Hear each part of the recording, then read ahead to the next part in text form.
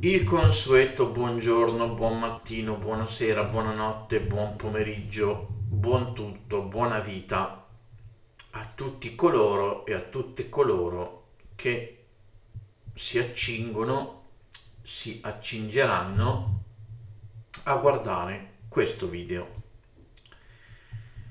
Oggi parliamo della famosa svolta perché è un periodo in cui molta gente,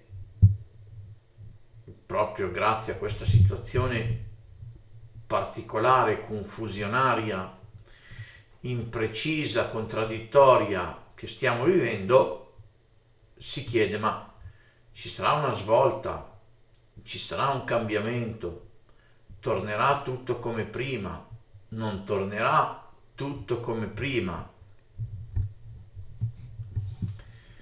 Allora dobbiamo partire da un concetto ben preciso, che nulla mai torna com'era.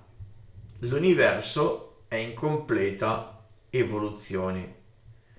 Ogni minuto, ogni secondo è diverso dal secondo precedente appena vissuto. È tutto in cammino, è tutto in movimento, è tutto in evoluzione, è tutto in trasformazione. Quindi dobbiamo magari toglierci dalla testa che tutto torni come prima. Ma dobbiamo anche metterci in testa che tutto può tornare meglio di prima o tutto può tornare peggio di prima. Questo dipende solo ed esclusivamente da come noi agiamo, ci comportiamo da quanto siamo capaci e determinati nel perseguire i nostri desideri, la nostra evoluzione, la nostra felicità. Da quanto noi siamo determinati, esigenti da noi stessi per poter continuare a camminare con l'universo. Ci hanno abituato ad un mondo apparentemente statico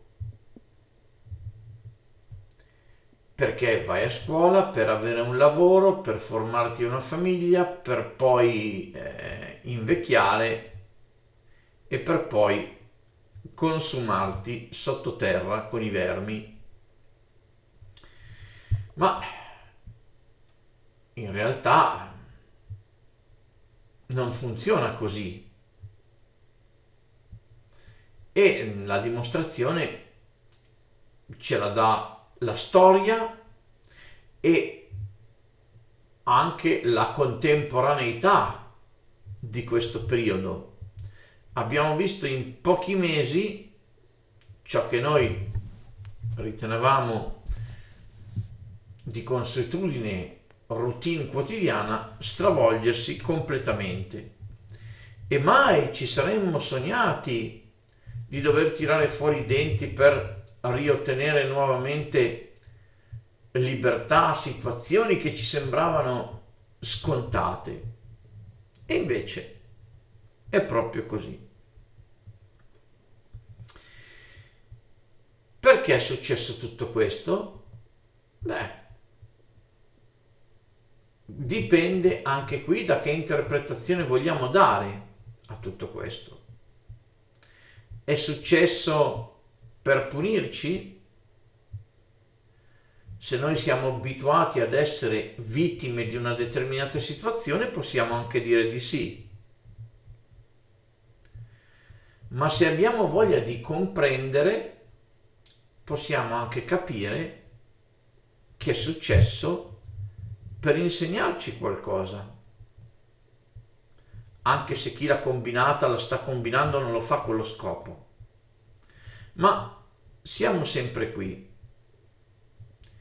Coloro che operano nella distruzione, nel non amore, nelle basse frequenze, operano nell'ignoranza, nella incapacità e sono facilmente non solo smascherabili, ma da parte di chi opera nel giusto e nell'amore sono facilmente distruttibili.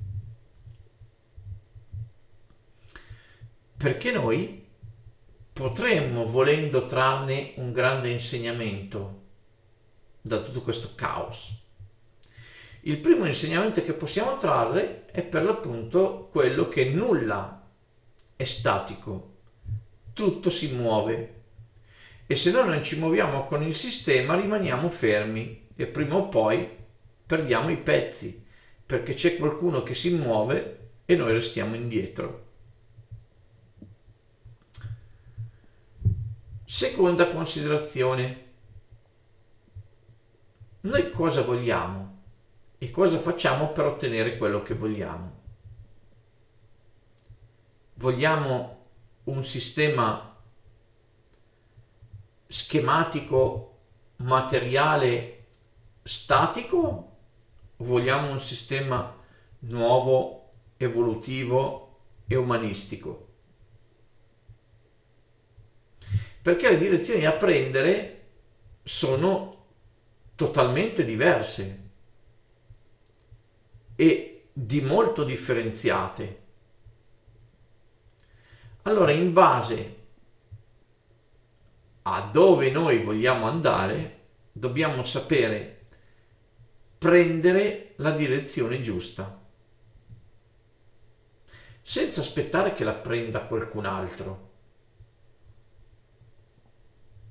perché qualcun altro non prenderà la direzione che interessa a noi. Qualcun altro prenderà la direzione interessata a lui.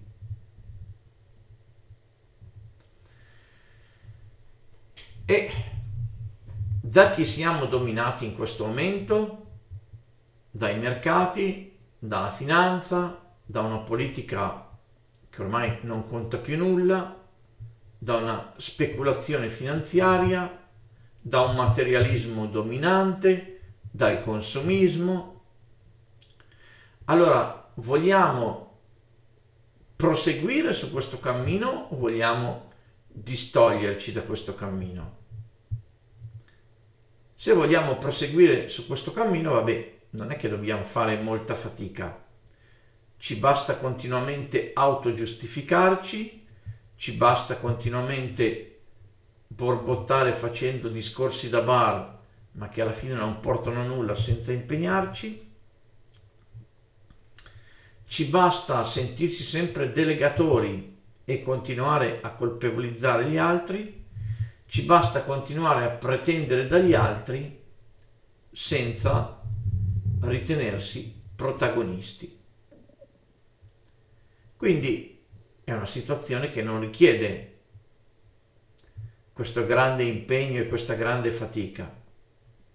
Diverso è se noi vogliamo proseguire l'altra direzione, cioè la direzione umanistica, la direzione di crescita, la direzione evolutiva, la direzione del cammino.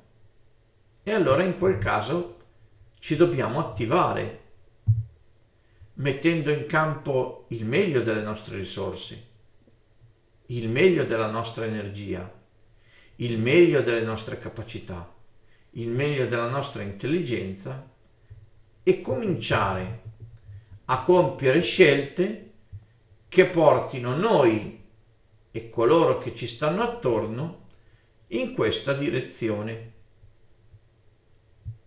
Magari iniziando a informarli, magari iniziando a discuterne, magari iniziando a parlarne, sì, ma iniziando anche con quelle piccole azioni che passo dopo passo portano a compiere, anche se magari inizialmente a piccoli passi, quel cammino che ti incanala in una nuova situazione su una diversa strada, in una diversa direzione.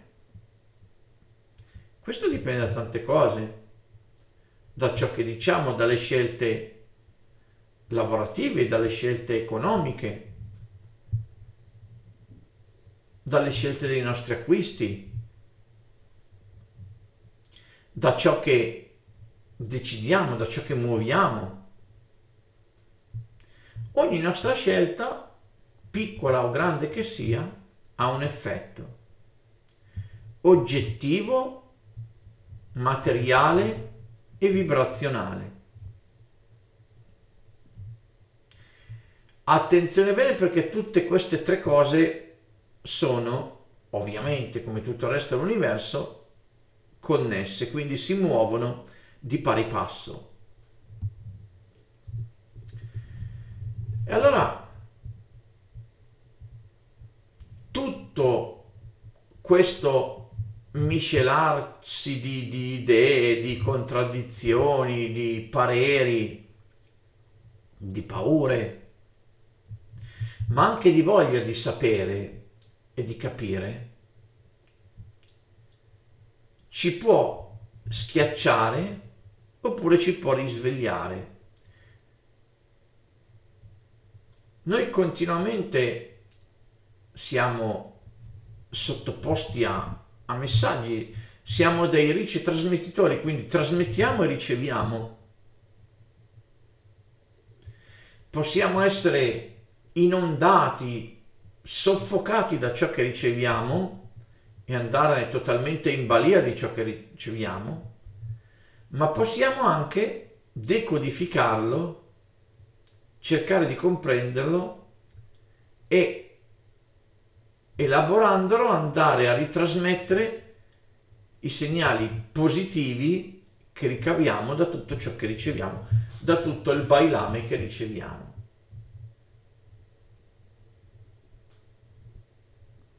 È tutta una questione di decriptare, di decodificare, di elaborare, di tornare capaci del nostro libero pensiero, padroni e coscienti del nostro libero arbitrio, perché molti non sono nemmeno più coscienti di avere libero arbitrio.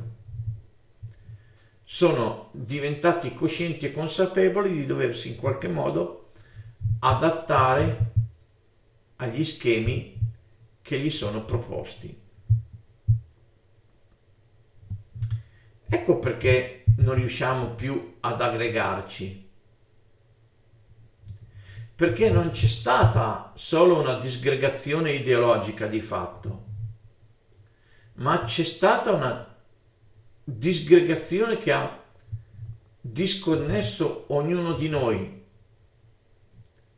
non solo magari dal proprio essere, ma anche da tutto il sistema cosmico.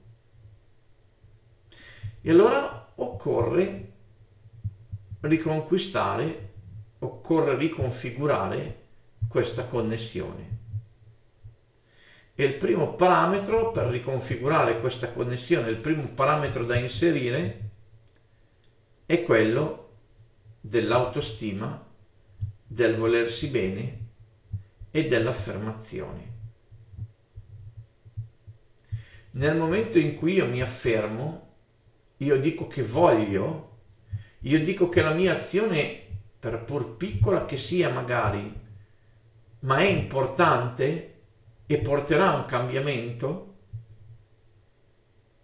inizio inevitabilmente non solo un cammino diverso, ma una crescita individuale non di poco conto. Perché il cambiamento porta cambiamento, perché l'affermazione ne porta, il desiderio di affermazione porta a esigere sempre di più da se stessi perché nel momento in cui io mi affermo mi autoresponsabilizzo nei miei confronti. E questo è molto importante perché nel momento in cui mi responsabilizzo nei miei confronti cresce l'autostima. Nel momento in cui io elimino il senso di colpa e lo vado a sostituire con il desiderio di correzione e cambia la vita. Perché io comincio a non vedere più il mio errore come un fallimento, ma comincio a vedere il mio errore come una possibilità per imparare un percorso nuovo, un qualcosa di nuovo. E da lì inizia veramente il nuovo percorso, il nuovo cammino. Oggi noi la possiamo sfruttare questa nuova situazione.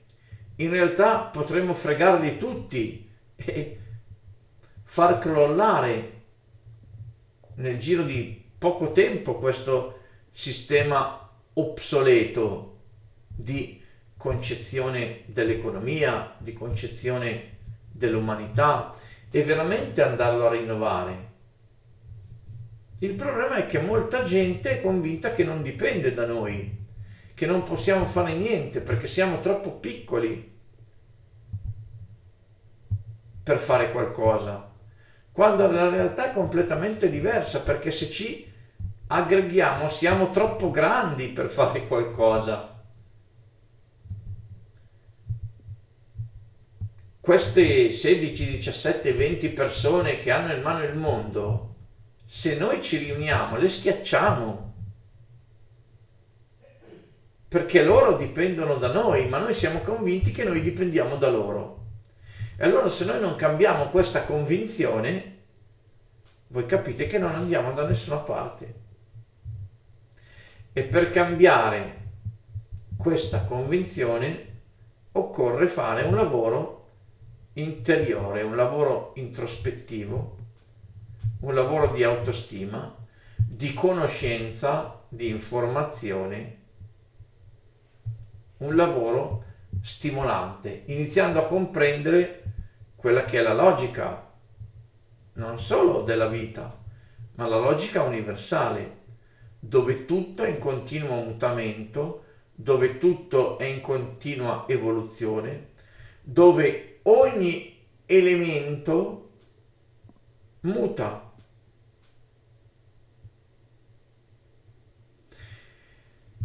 E proprio facendo crescere questa consapevolezza noi potremo veramente introdurci sul nuovo sentiero, su una nuova strada e compiere quel cammino di cui oggi ci riteniamo incapaci. Solo così potremo superare questo momento. Solo così potremmo uscire da quella che se no sarà una catastrofe globalizza- globalizzatrice senza precedenti e che veramente porterà un, una distruzione che poi sicuramente si ricostruirà, ma richiederà molto, ma molto tempo. Perché il genere umano sicuramente, se non si sveglia, si appresta a vivere anni di alienazione di non poco conto. E chi ne è consapevole e inizia a mettere i piedi avanti farà un po' meno fatica a viverli, chi non, è, non ne è consapevole eh, avrà vita dura. E allora iniziamo il cammino verso la consapevolezza, verso la determinazione, l'amore per se stessi, il desiderio di riconnessione universale e la cosa più importante, la propria affermazione. La grandezza, la meraviglia, la potenza dell'affermazione e del nostro libero arbitrio. Per oggi mi fermo qui. Buona vita a tutti. Se volete scrivetemi a evolutore chiocciola gmail.com